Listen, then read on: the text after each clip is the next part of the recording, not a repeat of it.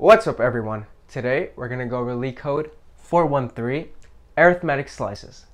First we'll go over the input and the output, then we'll look at the approach and diagrams, and finally we'll go over the code and complexity. Input is going to be an integer array and the output needs to be an integer.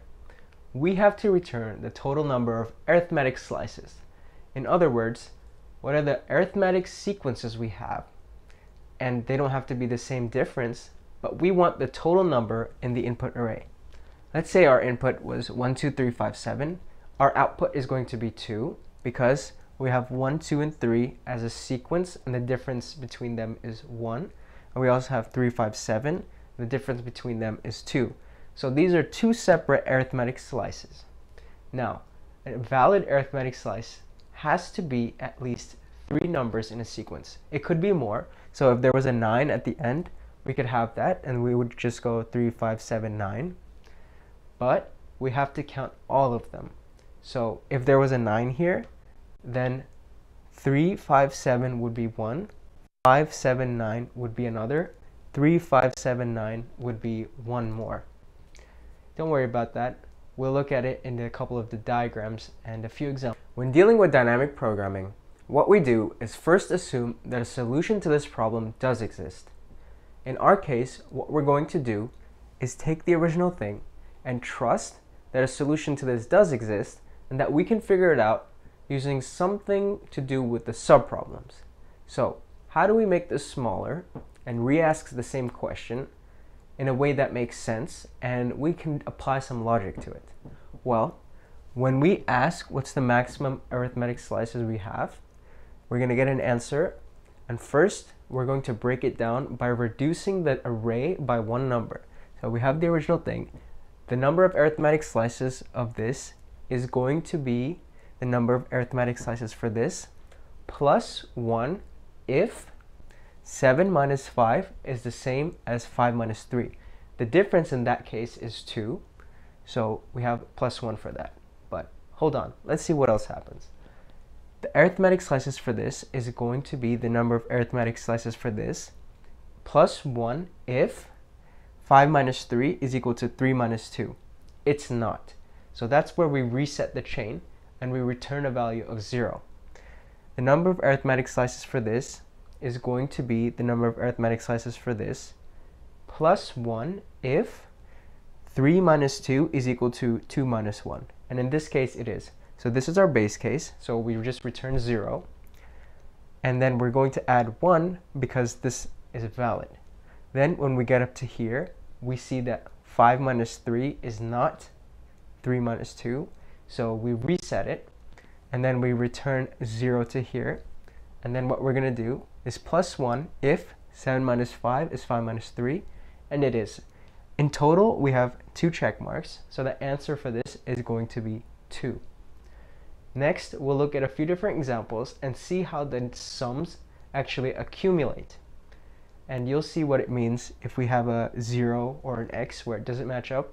But what happens if we have consecutive check marks? So if you have a green, green, green, the numbers are going to get incremented and we're going to have a global variable which keeps track of the cumulative sum of the returned values. Here are a few more cases. Let's say our input array was 1, 3, 5, 7, and 9. So that array is going to recursively ask one shorter array. That's going to ask something shorter, and that's going to ask the base case. The base case, of course, always returns 0. And then this stack is going to see if 5 minus 3 is the same as 3 minus 1.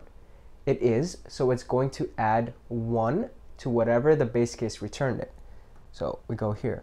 Now that stack is going to see if 7 minus 5 is the same as 5 minus 3. And because the differences are the same, it's going to add 1 to whatever the child stack returned and return that. So this is going to return 2.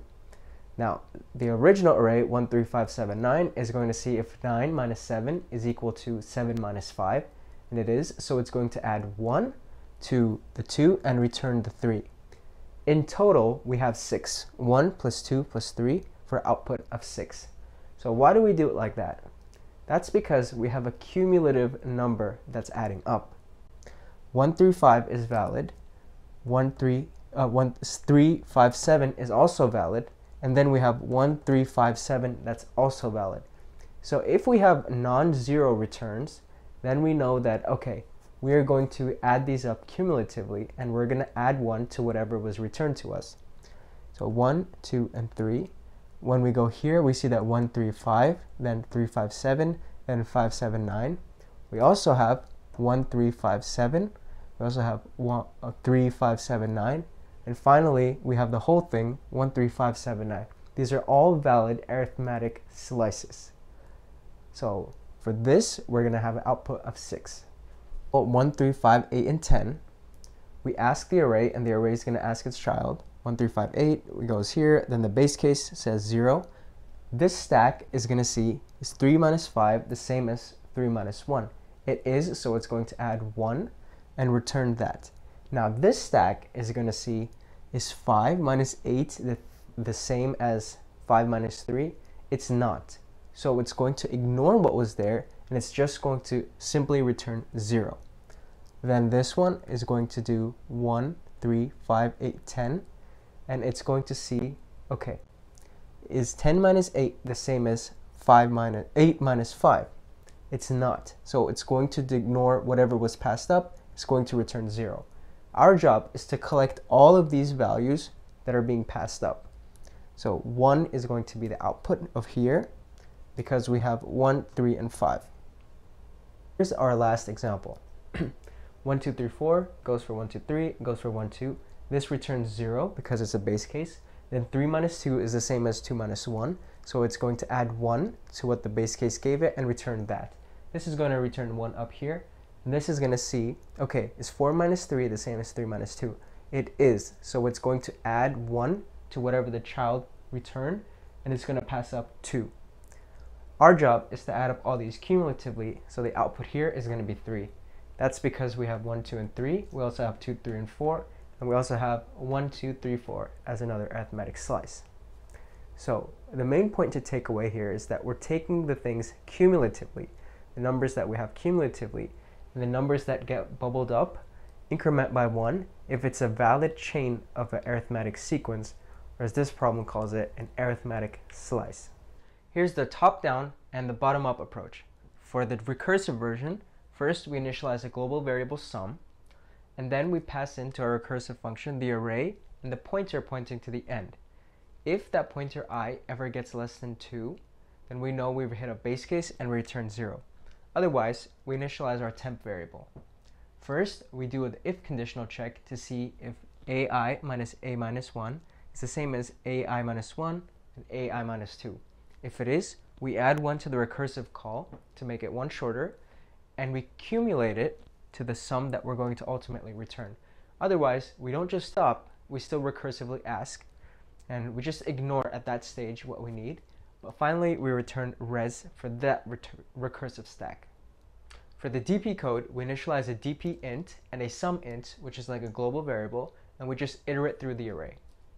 If we have our if conditional, we do plus plus on the DP, accumulate it in the sum variable, otherwise we reset the DP to zero.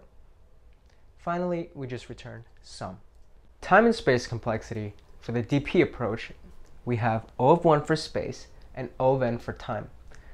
We don't really use any additional space, and we're going through the entire array once. Now, for the recursion, we're going to have O of 1 for space. I'm not counting the recursive stack as extra space. And for the time, it's actually going to be O of 1. That's because we have an if or else logic.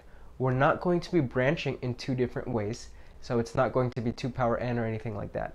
So the reason it's O of n is because we are going to recursively ask one single number reduced at a time. So 1357 becomes 135, so on and so forth. And if you recall the chain, we're only going down one number or one number removal at a time. So that's how you solve LeetCode 413 arithmetic slices. If you liked the video, please thumbs up, and if you want to see more, don't forget to subscribe.